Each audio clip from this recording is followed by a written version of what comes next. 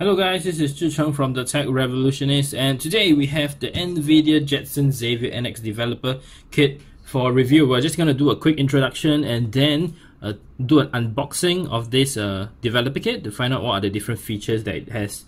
So as you may understand, the Jetson series is not like your usual graphics card. This is actually made for developers who want to build applications and test it out directly on this board, right? So it's actually a single board computer. It's actually a full-fledged computer by itself and has got accelerated uh, to run AI applications.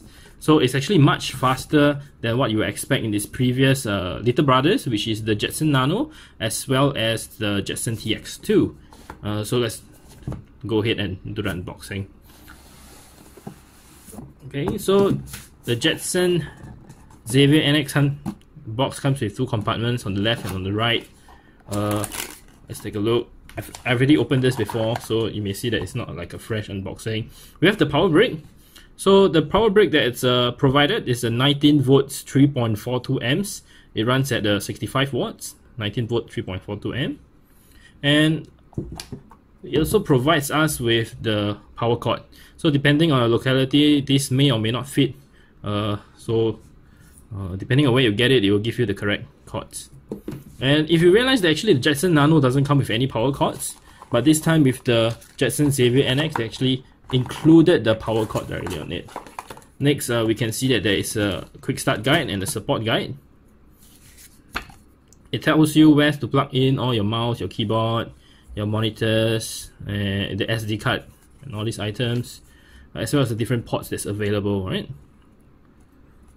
And so more information, warranty information, pretty much things you wouldn't need to read.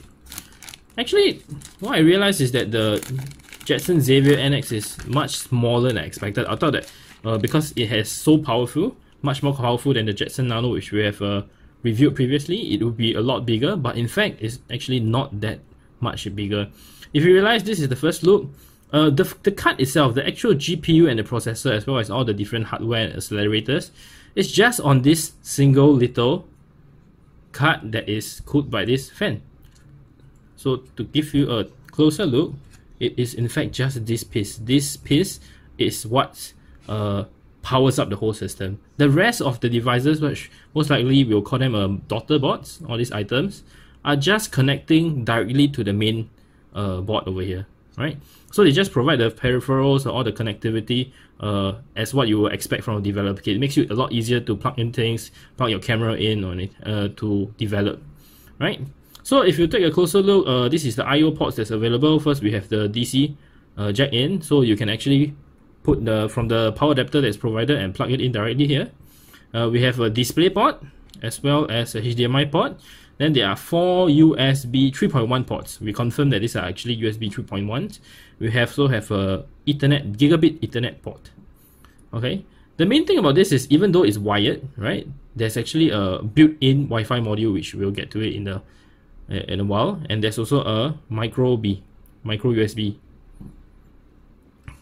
Okay, as I mentioned just now, uh, we actually has built-in uh, Wi-Fi as well as Bluetooth so this is actually the Wi-Fi Bluetooth card that connects directly to the two antennas right over here.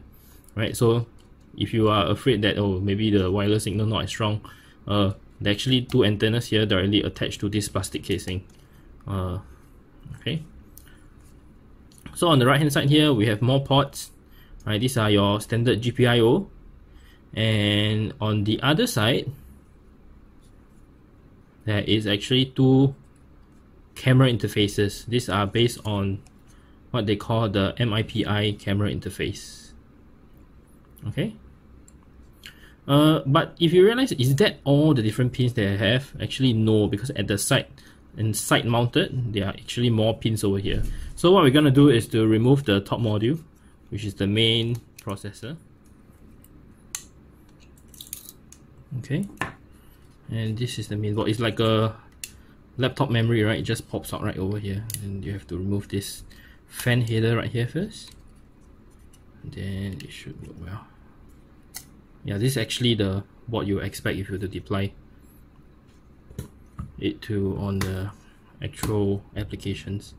So even here at C, you can see that it comes with a micro SD card slot, so you can actually run your OS directly. You can put your OS in and run the whole application directly from here. And at the bottom, uh, pretty much more components. Actually, there's actually a USB 3.1 controller here. It's actually a Realtek chip. And we have more I.O. pins. Wait a minute. Okay. The power button, the ground, facial recognition, FC rec. Not sure what's that. We have ground, system reset, ground, uh, auto on display, uh, UART transfer, UART receive, and two more LED. So one of the things I forgot to talk about is that this uh, developer kit also comes with an M.2 slot, so you can actually include your uh, M.2 NVMe SSDs in directly. So it supports NVMe uh, to communicate as a storage device to the main uh, Jetson Xavier NX board.